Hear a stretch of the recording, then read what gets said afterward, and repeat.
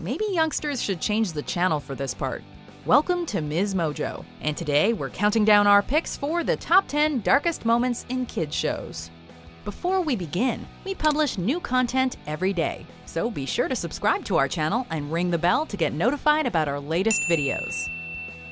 For this list, we're taking a look at the most mature and disturbing moments from TV shows aimed at young audiences. Since some of these dark turns involve important plot points, a spoiler alert is now in effect. Number 10. Zim's organ-filled body, Invader Zim. When the nurse examines you, she'll notice that you don't have human organs. The alien Zim tries his best to blend in with humans on Earth, but when he's sent to the nurse's office, his rival Dib points out that the alien lacks human organs.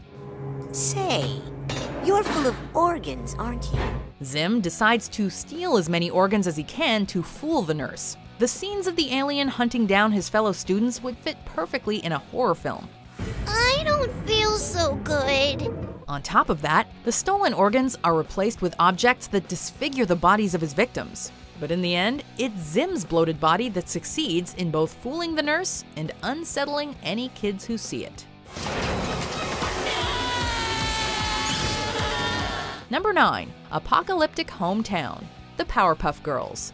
The whole weekend away from the city of Townsville. Blossom, Bubbles, and Buttercup spend a lot of time using their powers to save the city of Townsville. When they get a vacation after a day of kindergarten, they eagerly race home. However, they move fast enough to accidentally travel 50 years into the future. Professor, it's us, the Powerpuff Girls. Stay back. Leave me alone. They discover their absence has ruined the city, while their creator and friends have been twisted beyond recognition. It leads to a scene where everyone in Townsville, including the new evil overlord, blames them for leaving. We bet younger audiences were thankful for just having chores, because this sequence gave the heroic kindergartners a heavy dose of responsibility. You did this. You did this. Number 8. Covering Up Murder SpongeBob SquarePants. I call it the Nasty Patty. Who hides a dead body under the sea? SpongeBob and Mr. Krabs thought they did. The duo attempts to get revenge on a health inspector with a disgusting burger. Before he takes a bite, the inspector chokes on a fly. Believing the burger killed him, SpongeBob and Krabs try to bury the body in secret.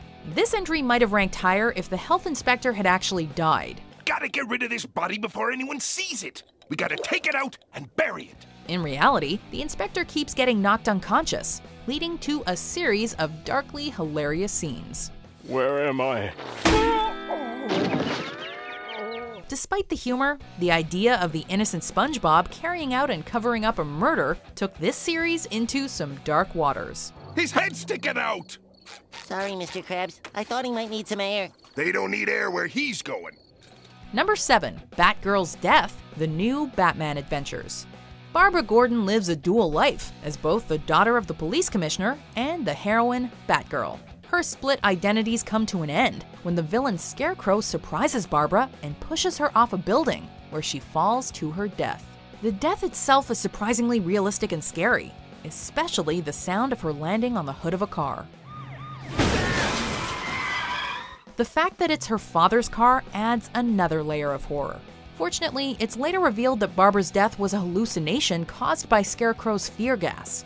Although we know it's fake, the death of Batgirl may have looked and felt all too real to kids. No! No! No! Number 6. Robin's Invisible Enemy Teen Titans.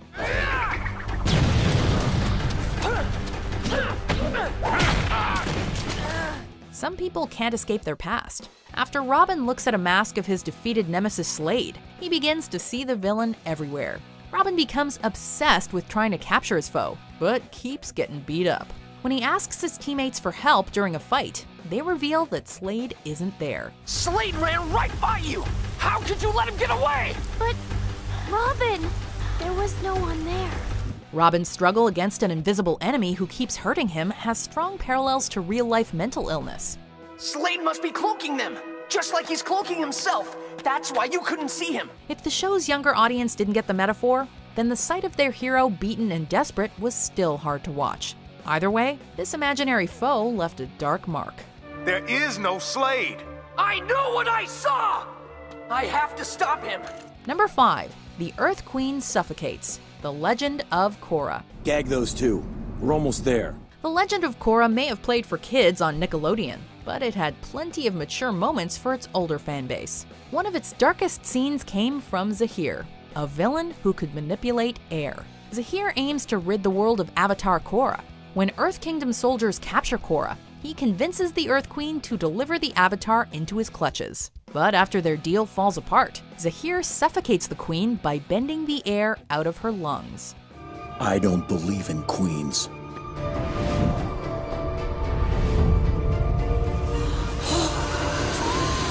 Her red face and literal grasp for air are nightmare inducing images.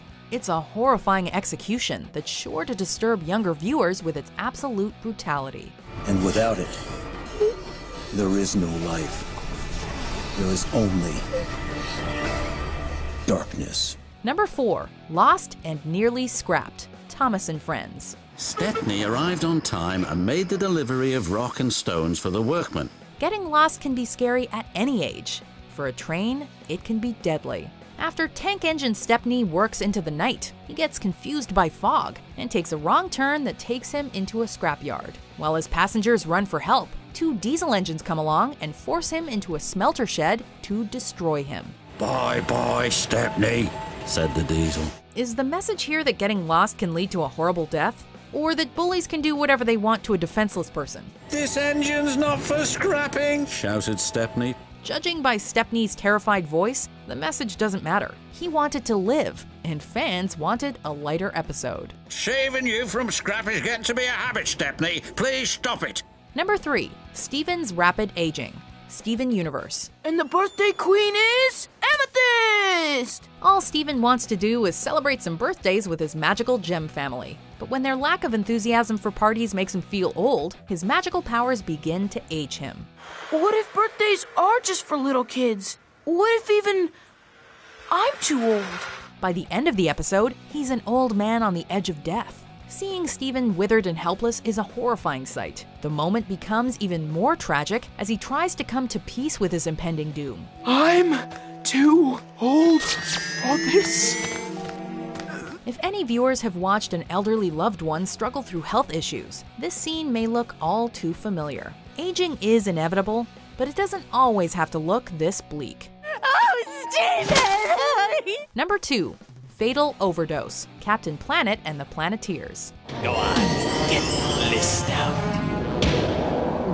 The Planeteers have had to deal with more than just environmental issues. In one episode, the Planeteer Linka goes to visit her cousin Boris, only to find that he's hooked on a street drug called Bliss. Although she refuses his offer to sample Bliss, he sneaks a pill into her food. So I stopped using it. Thank you for setting me straight. But his cruel deception isn't the darkest part. Boris is later offered an entire bottle of Bliss if he's willing to kill Planeteers. And all you have to do is give those planet punks a little push. Once the pills arrive, Boris swallows all the drugs at once, overdoses, and dies. Linka is left without a cousin, and kids are left with a grim message about drug use. Boris! It's me, Linka! Wake up! Before we unveil our number one pick, here are some honorable mentions. Bye, Danny. Thanks for. Oh no. No!